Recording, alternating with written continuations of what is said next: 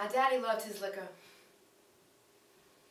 He fell in love with his liquor the same way you fall in love with Echo Spring. My poor mama having to maintain some semblance of social position on an income of $150 a month in those old government bonds. The year I came out, the year I made my debut, I had just two evening gowns.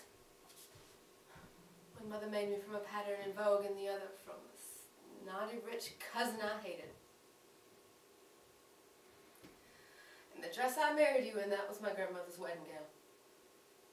So that's why I'm like a cat in a hot tin roof.